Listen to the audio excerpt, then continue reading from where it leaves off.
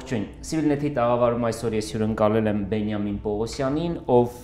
Պաշտպանության նախարարության Պաշտպանական ազգային հետազոտական համալսարանի պետի տեղակալն է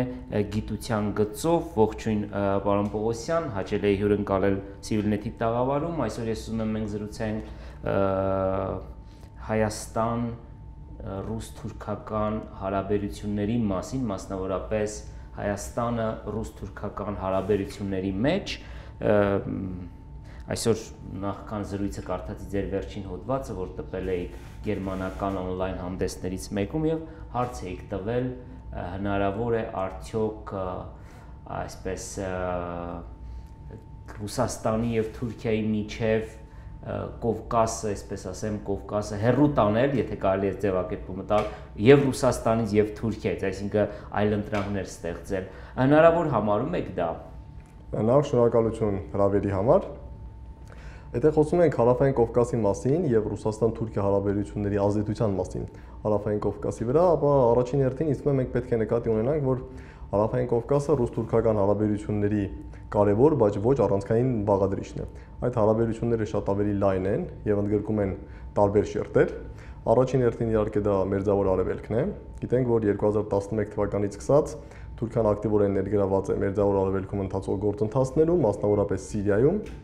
2013-ից արդեն Ռուսաստանը եւս սկսեց ներգրավել, իսկ որ հակադիր ճամբարներում որպես Այո, իսկ 2015-ի սեպտեմբերի վերջին գիտենք, որ Ռուսաստանը ուղղակի ռազմական ներգրավվածություն ունեցավ եւ երկու պետությունները հակադիր ճամբարներում էին, եթե Թուրքիան աջակցում էր այն ուժերին, որոնք պայքարում էին Սիրիայի նախագահ Բաշար Ասադի դեմ, ապա Ռուսաստանի ռազմական ներգրավումը Սիրիայում առաջին հերթին նպատակ ուներ ապահովել Բաշար Ասադի դիրքերը։ Սակայն արդեն սկսած 2016 թվականի կեսերից Ռուսաստանի եւ Թուրքիայի հարաբերություններում Սիրիայի կոնտեքստում տեղի ունեցան որոշակի փոփոխություններ, ինչով էր դա պայմանավորված, առաջին հերթին փոխվեցին Թուրքիայի առանցքային շահերը Սիրիայում։ Եթե մինչ 2016 թվականի սկիզբը կամ 2016 թվականի կեսը Թուրքիայի համար հիմնական խնդիրը դա Սիրիայում նախագահ Ասադի տապալումն էր եւ սուննիական ուժերի իշխանության բերելը, որոնք եթե ուղղակիորեն չէին վերահսկվի կամ ենթարկվի Թուրքիային, ամեն դեպքում կլինեին շատ ավելի պրոթուրքական եւ կլինեին որոշակի թուրքական ազդեցության տակ։ Ապա 2016 թվականի կեսերից այն բանից հետո, երբ Միացյալ Նահանգների գլխավորությամբ ստեղծված իսլամական պետության դեմ պայքարող կոալիցիան հիմնական շեշտը իսլամական պետության դեմ պայքարում սկսեց դնել Սիրիայի հյուսիսում քրդական ուժերի վրա եւ սկսեց քրդական ուժերին աջակցություն ցուցաբերել, գիտենք, որ Միացյալ Նահանգները եւ նաեւ այլ արևմտյան պետություններ մատակարարում են զենք եւ զինամթերք, կան նաեւ հատուկ ջոկատայիններ տարբեր պետությունների, որոնք օգնում են Սիրիայի հյուսիսում քրդական ուժերի մարզմանը եւ իսլամական պետության դեմ պայքարող հիմնական ուժը, այսպես ասած գետնի վրա, ինչպես ամերիկացիներն են ասում, on the ground, մի հիմնական ուժը դա Սիրիայի ժողովրդավարական ուժեր միությունն է, որտեղ սակայն գերիշխող դիրքը պատկանում է Սիրիայի հյուսիսում գործող քրդական ուժերին։ Եվ այս համատեքստում Թուրքիայի համար հիմնական խնդիր սկսեց դառնալ ոչ այնքան Ասադի դեմ պայքարը, որքան թույլ չտար, որպեսզի իր սիրիական սահմանի երկայնքով ստեղծվի մեկ այլ քրդական ինքնավար կառույց կամ ինքնավար միավորում։ Ընդ որում խնդիրը նա էր, որ Սիրիայի հյուսիսում գործող քրդական ուժերին Թուրքիան համարում է քրդական բամորական կուսակցության մասնաճյուղ, այսինքն Թուրքիայի համար դա շատ ավելի մեծ վտանգ է այդտեղ քրդական բամորական կուսակցության կողմից վերահսկվող ուժերի միջոցով ինքնավար քրդական կառույցի ստեղծումը, քան նույնիսկ այն քրդական դե ֆակտո կարելի ասել անկախ կամ ինքնավոր միավորը, որը 2003 թվականից հետո ստեղծվել է Իրաքում Քուրդիստանի ռեգիոնալ կառավարությունը որտեղ գիտենք, որ Քուրդիստանի ռեգիոնալ ուզում եմ վերադառնանք Կովկաս այնուամենայնիվ դուք զրույցը տանում եք դեպի Սիրիա, ես ուզում եմ ավելի շատ խոսենք Կովկասում ռուս-թուրքական այս մրցակցության համագործակցության մասին, եթե կարելի է այլ Իհարկե, հիմա կվերադառնանք Կովկաս, բարձրապես ուզում եմ ես ցույց տալ, որ Ռուսաստան-Թուրքիա հարաբերությունները վերլուծելիս կամ գնահատելիս հարավային Կովկասի վրա ազդեցությունը մենք պետք է անպայման հաշվի առնենք, որ ինչպես սկզբում նշեցի, հարաբերությունները շատ ավելի լայն են եւ շատ ավելի կարևոր գործոններով են պայմանավորված երկու պետությունների համար, քան հարավային Կովկասն է։ Առաջինի մասին ես արդեն նշեցի, դա Մերձավոր Արևելքն է եւ գիտենք, որ Թուրքիան եւ Ռուսաստանը 2016-ի հունիսից սկսած էական գործընթացների մեջ են հարաբերությունների կարգավորման Մերձավոր Արևելքում, կա երրակողմ մեխանիզմ Թուրքիա-Ռուսաստան-Իրան, Աստանայի բանակցություններ եւ այլն, շատ չմանրամասնենք։ Երկրորդ կարևոր օջախը, որը նույնպես Թուրքիա-Ռուսաստան հարաբերություններում էական դեր է խաղում, դա իհարկե Սևծովյան տարածաշրջանն է։ Բոլորս գիտենք, որ 2014 թվականի Ուկրաինայի դեպքերից հետո Սևծովյան տարածաշրջանը Ռուսաստանի եւ ՆԱՏՕ-ի միջև բավականաչափ կարևոր կետի է վերածվել մրցակցության։ Ռուսաստանը էականորեն ավելացրել է իր ռազմական ներկայությունը Սևծովում։ Իր հերթին Թուրքիան հանդիսանում է ՆԱՏՕ-ի անդամ Սևծովյան ամենահզոր ռազմական պետությունը։ Եվ այս համատեքստում իհարկե Թուրքիայի դիրքերը բավականաչափ յուրահատուկ են, որովհետև մի կողմից նա չի կարող ամբողջությամբ հրաժարվել ՆԱՏՕ-ի անդամ լինելու իր պարտականություններից եւ մյուս կողմից էլ իհարկե փորձում է չխոչընդոտել Ռուսաստանի հետ բարելավող հարաբերությունները։ Այսինքն եթե հիմա վերադառնում ենք Հարավային Կովկասին, պետք է նշեմ, որ Հարավային Կովկասը, եթե նայում ենք Թուրքիայի կամ Ռուսաստանի տեսակետից, ինչ է դա։ Ռուսաստանը Հարավային Կովկասը, ինչպես նաև ընդհանրապես այդ խորհրդային տարածաշրջանը համարում է իր օրինական յուրահատուկ շահերի գոտի։ Գիտենք այդ մասին դեռ հայտարարել էր այն ժամանակ Ռուսաստանի նախագահ Դմիտրի Մեդվեդևը 2008 թվականի օգոստոսին ռուս-ֆրանսիական պատերազմից ամիսապես հետո որ այս տարածաշրջանը Ռուսաստանի օրինական յուրահատուկ շահերի գոտին է եւ այլ տերությունները պետք է հաշվի նստեն դրա հետ։ Ինչ վերաբերում է Թուրքիային, ապա Թուրքիայի համար Հարավային Կովկասը առաջին հերթին դա տանանտիկ ուղիներ են, որոնք հնարավորություն են տալիս Ադրբեջանի, իսկ հերանեկարում եթե ստացվի նաև Կասպիան այլ պետությունների, մասնավորապես Թուրքմենստանի էներգետիկ ռեսուրսները Վրաստանի եւ Թուրքիայի տարածքով տեղափոխել դեպի Եվրոպա եւ դրանով նպաստել Թուրքիան տարածաշրջանային էներգետիկ կենտրոնի կամ հաբի վերածելու ռազմավարությանը։ Բայց այդ գիտենք թուրք-ադրբեջանական ռազմավարական դաշինքի մասին։ Սակայն եթե դիտարկում ենք այս տեսակետից, ապա ակնհայտ է, որ Հարավային Կովկասը Ռուսաստանի համար ունի ավելի կենսական նշանակություն, քան Թուրքիայի համար եւ այս համատեքստում Թուրքիան պարզապես փորձում է Հարավային Կովկասում իր ազդեցությունը կամ Հարավային Կովկասի աշխարհակահաղականության վրա ազդելու ունակությունները օգտագործել Ռուսաստանի հետ իր համար շատ ավելի կարևոր հարցերի կարգավորման գործում։ Իսկ ինչպես ես նշեցի, հիմա Թուրքիայի համար համար 1 խնդիրը դա մերձավոր արևելքն է, մասնավորապես Սիրիան, իր այսինքն զիջումների գնալ իբր զիջումների գնալ Կովկասում, որպեսզի շատ ավելի բան փոկել Սիրիայի հարցում։ Ես ոչ թե կներկայացնեի այդ ձևը, որովհետև ինձ թվում է նման մոտեցումը իհարկե մի փոքրսից պարզունակեցնում միջազգային հարաբերությունների ուղղություն։ Հասկանալ է, որ ոչ մասնագետների համար դա գուցե շատ ավելի հեշտ է ամեն ինչ տեղափոխել դեպի այսպես ասած դասական առևտրի դաշտ, որտեղ մարդիկ առևտուր են անում, ես կտամ սաքես, դու կտաս սաքես։ Սակայն պետք է հասկանանք, որ իրականում միջազգային հարաբերությունները դրանք բազմաշերտ երևույթ են եւ նույն պետությունները տարբեր տարածաշրջաններում միաժամանակ կարող են ունենալ եւ համընկնող եւ հակադիր շահեր։ Այս համատեքստում ինձ թվում է ոչ այնքան Թուրքիայի խնդիրն է ասել ես Հարավային Կովկասում կզիջեմ սա, դրա փոխարեն Սիրիայում կստանամ նա կամ Ռուսաստանի ինչ որ բան զիջի Հարավային Կովկասում դրա փոխարեն Սիրիայում ինչ որ բան ստանա, Պարզապես Թուրքիան փորձում է Հարավային Կովկասում իր ազդեցությունը օգտագործել Ռուսաստանի հետ բանակցություններում ցույց տալու համար, որ ես ունեմ որոշակի ազդեցություն Հարավային Կովկասում եւ Հարավային Կովկասումի ազդեցությունը կարող է օգտագործվել նաեւ ոչ ի նպաստ Ռուսաստանի շահերի։ Եվ դա դառնում է հերթական երկրորդային կամ հավելյալ ես կասեի գործիք բանակցությունների լավ անգլերեն տերմին կա bargaining chip ուղղակի թարգմանությունը դժվարանում եմ հիմա տալ այսպես ասած bargaining chip Ռուսաստանի հետ իր հարաբերություններում Ռուսաստանի տեսակետից իհարկե Հարավային Կովկասի նշանակությունը այո սակարկության առարկա Ռուսաստանի տեսակետից իհարկե Հարավային Կովկասի նշանակությունը շատ ավելի մեծ է որովհետև ինչքանով գոնե ես եմ պատկերացնում, Ռուսաստանի խնդիրն է հնարավորինս վերականգնել հետխորհրդային տարածաշրջանում իր ազդեցությունը եւ ձևավորել բուֆերային գոտի ընդդեմ Եվրոատլանտյան հանրույթի ավելի լայն ասենք կամ ավելի կոնկրետ ընդդեմ Միացյալ Նահանգների, ընդդեմ ՆԱՏՕ-ի ընդլայնման, բոլորս գիտենք Ռուսաստանի կոշտ դիրքորոշումը ՆԱՏՕ-ի շարունակական ընդլայնման հետ կապված, շատ հակիրճ նշեմ, որ Ռուսաստանը պնդում է, որ դեռ 1989-90 թվականին, երբ բանակցություններ էին ընթանում երկու Գերմանիաների միավորման վերաբերյալ, ԱՄՆ պետքարտուղար Ջեյմս Բեյքերի եւ Միխայել Գորբաչովի եւ այն ժամանակ ԽՍՀՄ արգոս նախարար Շևարդնաձեի միջև Ռուսաստանին տրվել են խոստումներ, որ Գերմանիայի միավորումից եւ Վարշավյան պակտի, այսպես ասած, չեզոքացումից հետո ՆԱՏՕ-ի ընդլայնում տեղի չունենա։ Իսկ հիմա Ռուսաստանը ասում է, որ փաստորեն ոչ միայն ՆԱՏՕ-ի ընդլայնում տեղի ունեցավ ի հաշիվ կենտրոնական եւ արևելյան Եվրոպայի պետությունների, այլև նախկին Մեզբալթյան հանրապետությունները, որոնք խորթային հանրապետություններ էին, ՆԱՏՕ-ի կազմում են եւ գիտենք 2008 թվականի Բուխարեստի գագաթնաժողովի որոշումը, որը նշում էր, որ Ուկրաինայի եւ Վրաստանի համար բաց են ՆԱՏՕ-ի անդամակցության դռները, ի վերջո այդ երկու պետությունները կդառնան ՆԱՏՕ-ի անդամ։ Երեք Պուտինը Ռուսաստանի նախագահ Վլադիմիր Պուտինը ստորագրեց հայ-ռուսական միացյալ զորախմբի մասին այդ համաձայնագրի վավերացման օրենքը եւ այնտեղ օրենք կետերից մեկը նա է որ երկու երկրների պետական սահմանի ցամաքային մասի պաշտպանունակությանն է ուղղված Երբ որ ասում ենք երկու երկրների պետական սահմանների սպառնալիքներ, կոնկրետ Հայաստանի դեպքում կարող եք ասել, որ երկրից է այդ սպառնալիքը, որ երկրից նկատի ու նկատի է առնվում այդ սպառնալիքը։ Իրանից հավանաբար ոչ։ Վրաստանից հավանաբար ոչ։ Ադրբեջանից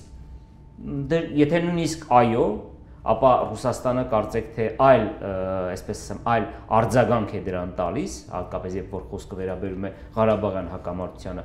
մնաց Թուրքիան։ Ճիշտ է, որ սա ուղղված է ինչ որտեղ Թուրքիային։ Եվ արդյոք սպառնալիք կա Թուրքիայից գոնե Հայաստանի նկատմամբ։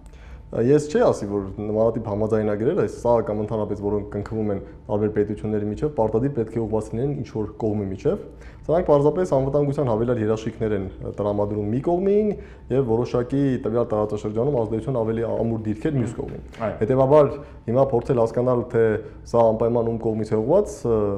կա սահմաններ, կան սահմանների անվտանգություն եւ գիտենք, որ միջազգային հարաբերությունները շատ արագ են փոխվում,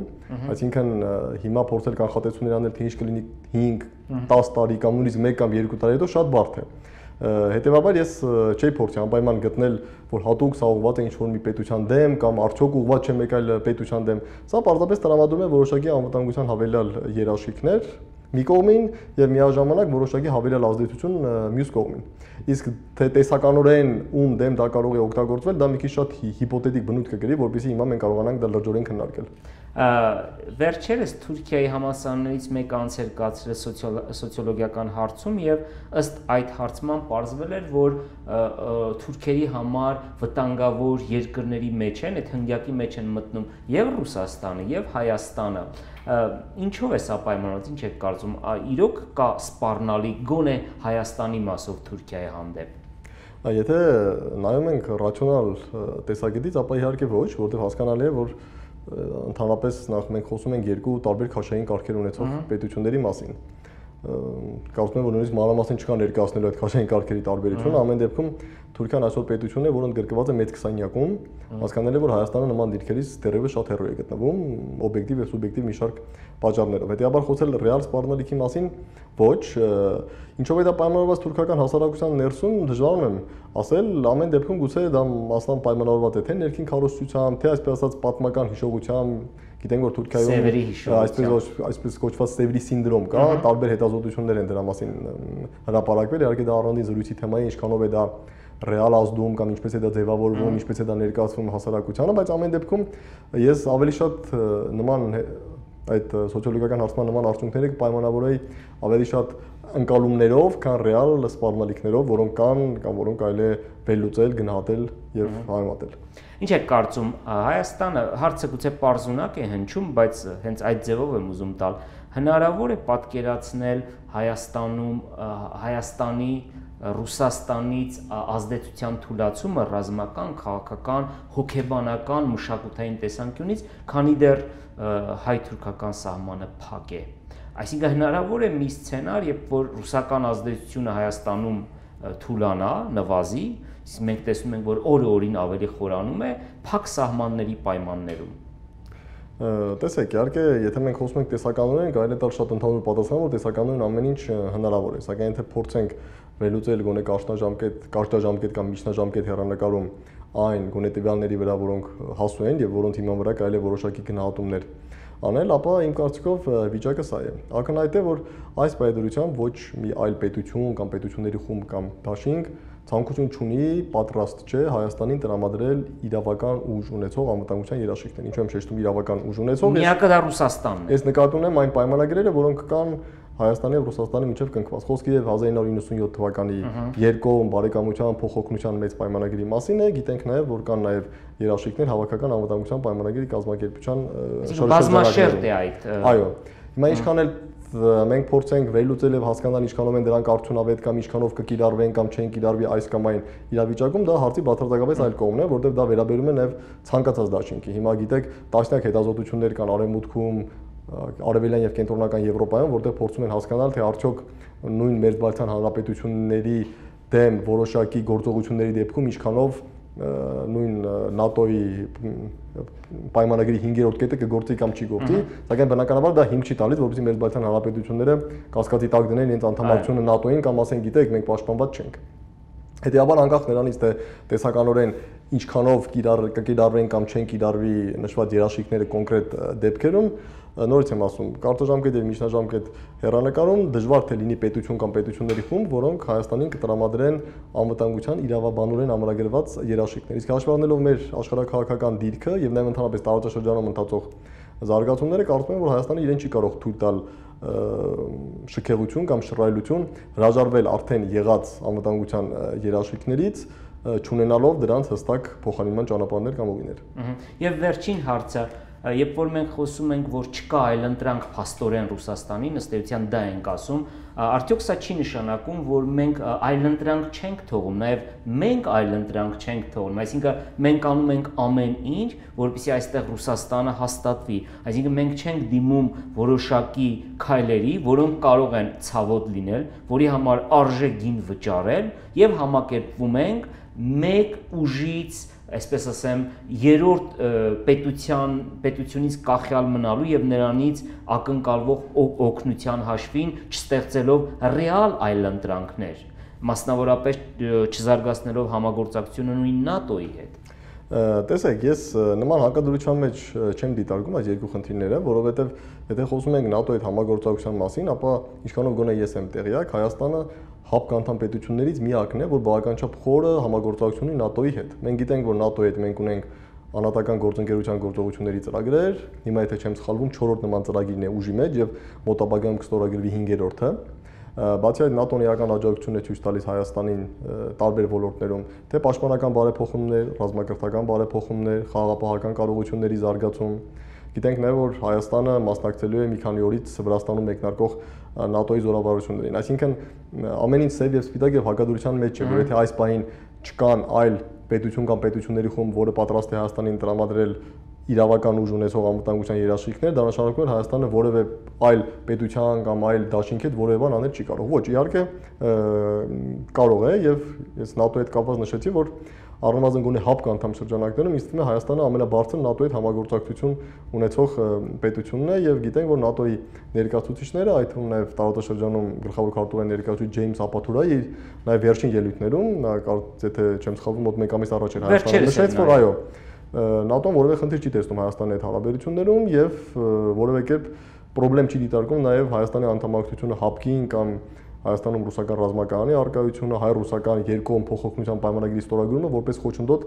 ՆԱՏՕ-ի հարաբերությունների զարգացնելու։ Նույնը Եվրամիության հետ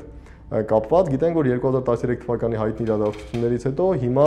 ավարտվել են բանակցությունները նոր համապարփակ համաձայնագրի շուրջ, որի ստորագրումը ենթադրվում է այս տարի աշտանը Բրյուսելում կանալիք